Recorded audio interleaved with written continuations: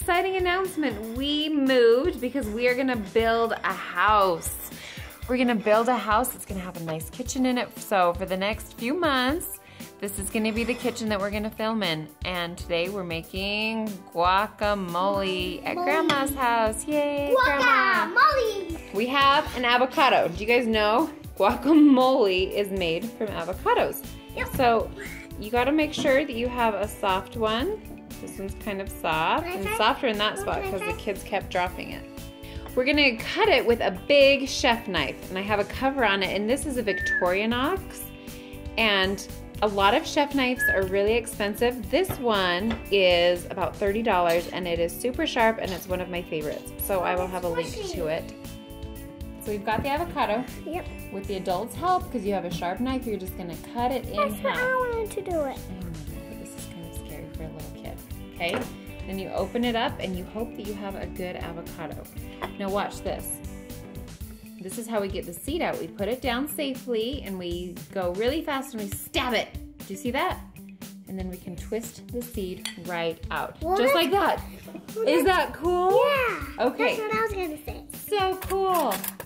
Okay, so then we're just gonna get the seed off of the knife and then we're done with our knife. We're gonna put it away, we're gonna throw our seed away.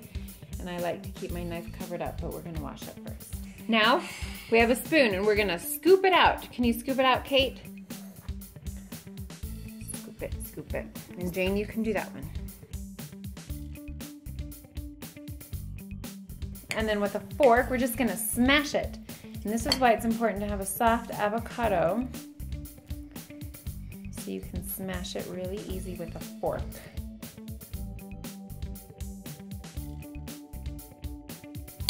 Now if you like a chunky guacamole, you don't have to smash it too much. You can dice it up. We like it just smashed. So this is just an avocado. To make guacamole, you need to add a few things too. you drink that? So we're gonna put about a teaspoon of lime juice. And then I just have some garlic salt. Do you wanna sprinkle some in? Just a little sprinkle. Keep on. I don't think any came out. Okay, we need like That much. that much. And I use, so that's garlic salt. This is cumin, ground cumin. That one's a little trickier to come out. Okay, so about that much. Um, a little bit more salt. This is my cool little salt sh- Can I salt grinder. I got some kosher salt. Just a minute, Kate. There's some kosher salt inside of that. And then we have a black pepper grinder. This is just a McCormick one. I like this because you can do different types if you want it really coarse, so big pieces. Okay, this you have to hold upside down and twist it. Wait, you hold, I'll hold it, you twist. And that's all I do for my guacamole. Stir it all in really good so all of it gets all the flavors. And then Give me a minute. this is the best kept secret. I don't know. You'll have to check in your area if you have these. These are called Juanitas tortilla chips. Mmm, that's perfect. Okay, thanks for watching Half Pint Cooking. Don't forget to subscribe, give us a thumbs up, and share with all your friends. Today we are gonna make guacam guacamole. Guacamole!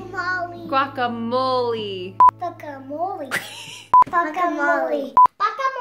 Guacamole. Guacamole. This is called guacamole.